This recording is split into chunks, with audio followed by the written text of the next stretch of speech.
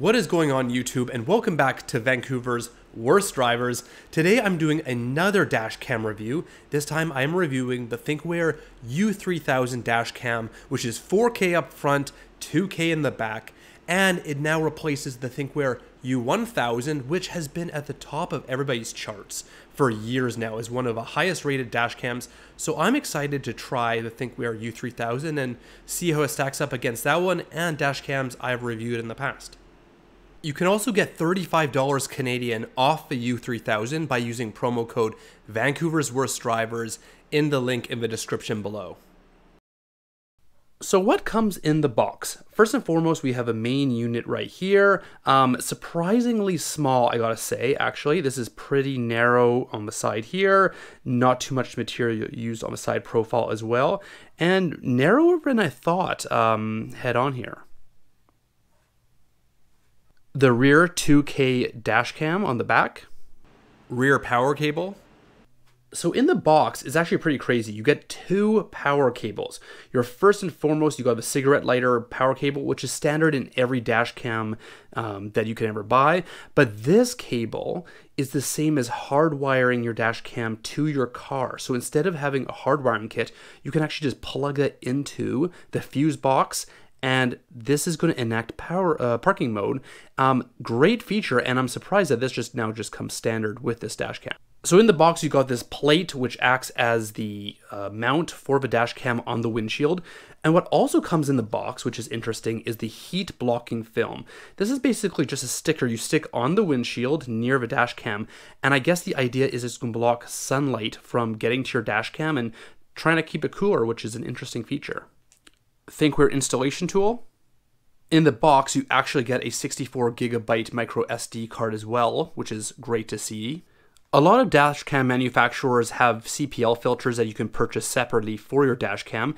This one actually comes with inside the box, which again is another great feature to add, all coming standard with your dashcam purchase. And you just stick that right onto the main lens and it helps reduce glare for footage three of these little kit lips for the uh, dashcam power cable.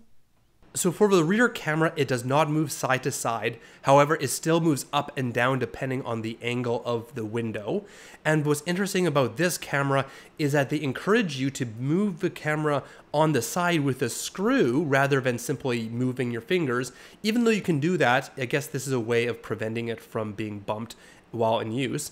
And I also tested out you can move it with your fingers using the power cable. However, I would not recommend turning it too harshly. So let's take a look at the main unit here. Um, first and foremost, you have the words radar written right on the front of the dash cam to show it's got built-in radar, which is unique to the U3000. You can move the lens up and down like so. And then moving to the back of it, you've got the input for the rear dash cam. You have your power um, port here. You have a port here for an external battery, which uh, you can purchase separately. On the side, you've got a micro SD card slot, which is pretty standard. And on the buttons here, you've got record, power, Wi-Fi, and voice recording.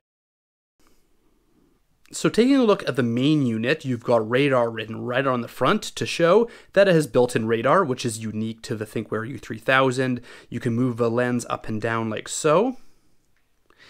And moving to the back of the dash cam, you got the rear dash cam um, port right there. You got the power port. You got a port here for a battery pack. So if you want to plug that in, and then you have way longer uh, parking mode. Then moving on to the buttons here, you've got record, power, Wi-Fi, and voice recording uh, on off. And on the side here, you, you have a micro SD card slot as well. All right, so I'm just recording this video, part of a video on my phone, so my apologies for the audio, but uh, I'm going to quickly show you folks the app and how it works. Um, I've been pretty impressed with the ThinkWare uh, app. It's very easy to connect to. Right now, I'm not connected to the dash cam at all, so I'm going to go ahead and connect right now. So this is connecting via Bluetooth. So Bluetooth is always going to be on, and you can probably hear that in the background. So now I am connected And so you can do uh, live view, or pardon me. So if you're accessing the footage, you're gonna have to connect to Wi-Fi. So I'll just show you the settings first under Bluetooth, and then I'll access it via Wi-Fi. So First and foremost, you've got the memory card settings, pretty straightforward in terms of formatting um, the uh, micro SD card. You can change for resolution here to 2K 60 frames per second, um, or you can have a 4K 30 frames per second, um, which I always recommend just keeping it at 4K 30 frames per second. You can change the image quality if you want to have files um, uh, smaller brightness uh, and you, at the bottom here but one thing i want to point out is the Super Night Vision 4.0. So I had originally had this enabled and I did some nighttime recording, which I'll show you after this part of the video, and it was way too overexposed. So basically, there was way too much light coming into the camera. You couldn't even see license plates if my headlights were shining on someone's car. So I would actually recommend for continuous recording, I would have this disabled. Um, I didn't try it with the uh, polarizing lens. I like to have it off to show you guys what the camera can actually do in terms of quality. Um, but I'll show you also nighttime footage without Super Night Vision 4.0.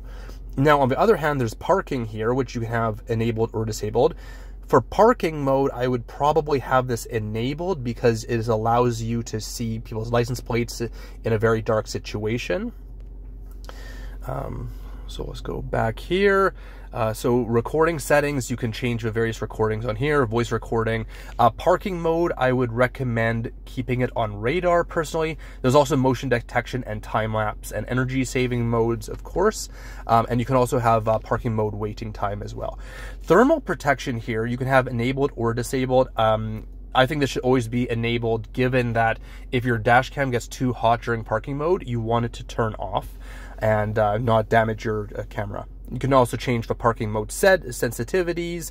Um, I want to quickly show you the bottom here. So for parking mode, as I was going to say, you know, ThinkWare takes parking mode very seriously. As you can tell by the settings you can have on here. So you can add regular car, hybrid car, or electric vehicle, and that's going to change various voltages where you want the battery cut off, which means the parking mode will shut off when it gets to a certain voltage so that it doesn't kill the battery and then you can't start your car. Um, and you can also see on there is 24 volt as well. I think we're also thought of winter time battery protection at the bottom here. So you can click these and actually protect uh, your battery and it takes uh, temperature into consideration when it comes to parking mode as well, which was a very cool feature. Road safety, um, this is in terms of the radar that's built into the dash cam. So you have got lane departure warning, you've got forward collision warning, low speed, forward collision warning, rear collision warning. Um, so these are actually all cool features because I'll show you a video footage um, uh, after this part of the video, but unfortunately there was no mic. I didn't have a mic on, so you can't actually hear the beep beep. But this driver almost drove into the side of me and then the dash cam let me know that this driver was driving too close to me and alerted me to avoid a collision. So that was a really cool feature uh, built into this uh, dash cam. And finally, you got some settings, number of safety cameras. I'm assuming that's in terms of the number of radar sensors, um, but I could be wrong. If you know, uh, if you know, let me know in the comment section below and you you have a speed unit, you got speed stamp and all that stuff. Um, Wi-Fi frequency, I would always keep it at five gigahertz to download 4K footage. Um, otherwise, it's going to take a very long time to download it. And uh, yeah, that's basically the settings. Um, if you quickly click here, this is when you have to connect to Wi-Fi. So it's going to take a second there, and then now I have footage here. So you you got your footage either like that, or you can push this icon at the top here. Oh, yeah, switching to Wi-Fi network. So now it goes from Bluetooth to Wi-Fi.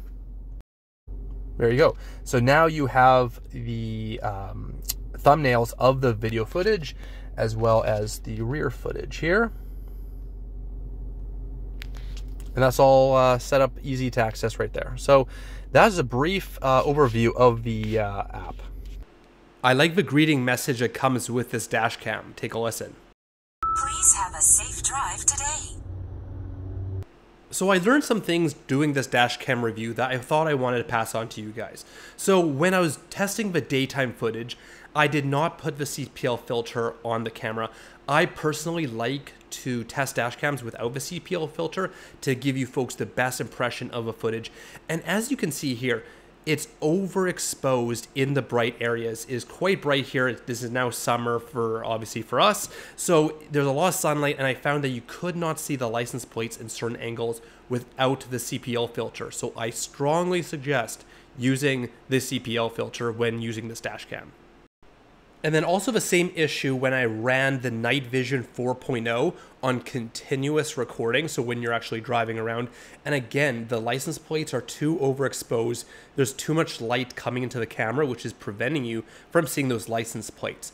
However, I will say if you want to use Night Vision 4.0 on continuous driving, this is the Maryhill bypass, which as you can see, there's no overhead lights and it almost looks like dusk. However, this is pitch black. So if you're maybe say driving on a logging road or on like a back road with very little lighting, I would actually suggest running this setting during continuous recording.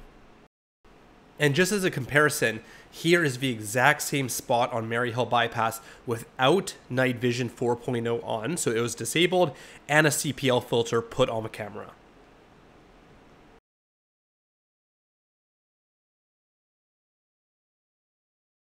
So as I mentioned, I put on the CPL filter for the front camera, which is already included in the box. You don't need to purchase it separately.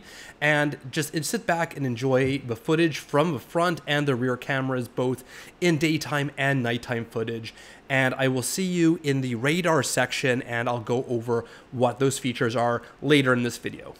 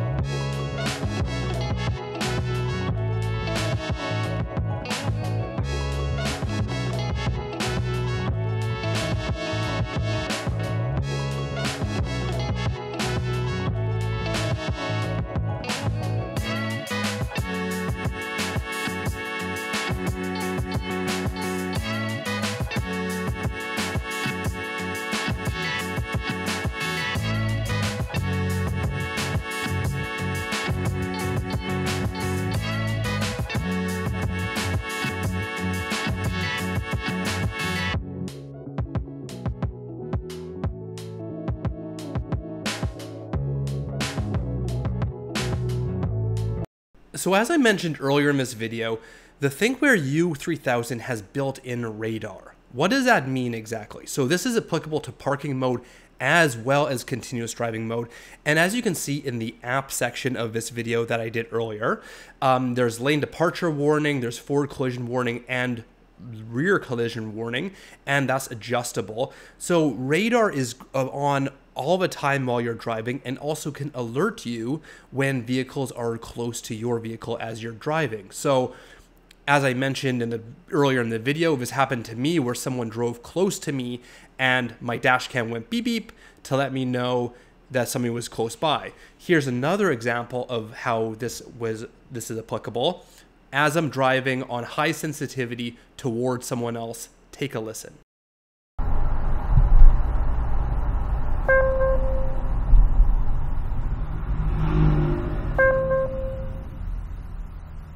Just know that it's a lot quieter in person than what you're hearing on this video.